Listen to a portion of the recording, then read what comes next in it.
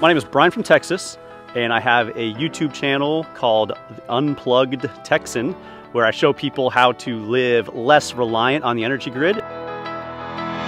Before installing the EP800, we had a standard, standard grid connection, and we have all propane appliances, so propane oven, propane water heater, propane clothes dryer. So the really the big major energy draws are on propane. A few years ago, we had a major power outage here in Texas. A lot of ice brought down trees, smashed the power lines. So we got a rude awakening of how bad it can be to be without power for a decently long period of time. And I ran a propane generator for a while to power my well because I have a deep well around about 460 feet deep well that we get our water for our property um, out of that. And we have to pump that using electricity. And we had no electricity, so our, our tanks went dry and we had no water and no power. So that really woke me up. Um, so we started our propane generator to try to power the well for a while to fill up some of the tanks. And we went through a barbecue size tank, a propane tank, the ones you hook up to your barbecue. We went through one of those in two hours, a full tank in two hours, powering our well and some lights in our home. So we, we learned real quick that the propane generator is good for quick short-term use, but in a long-term grid outage situation, that is, that's not financially feasible. The big reasons for us putting in the EP800 was to be able to bring the, our electric bill down and put as much of our house, which actually about 95% of the house is on the critical loads panel that is powered by the Bluetti EP800.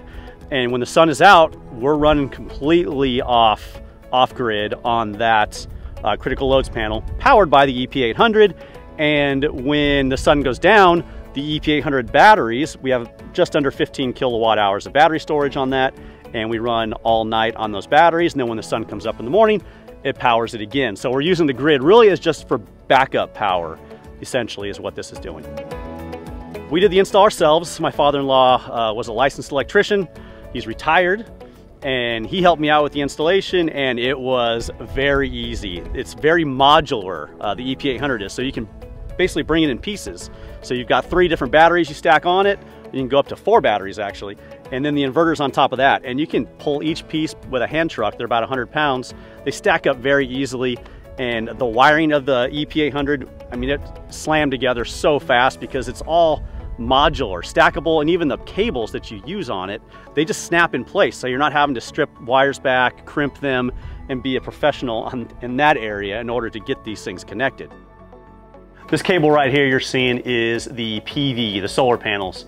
Power coming in, goes into this box, it converts from here from THHN wire, converts over to the PV solar wire, and plugs in right here into the PV2, which can do up to 6,000 watts of solar panels.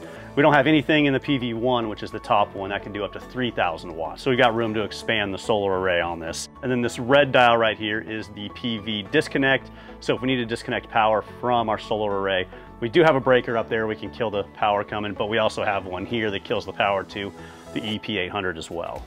Okay, so how this works is the grid power comes from a panel right on the other side of this wall, the main panel for the whole house.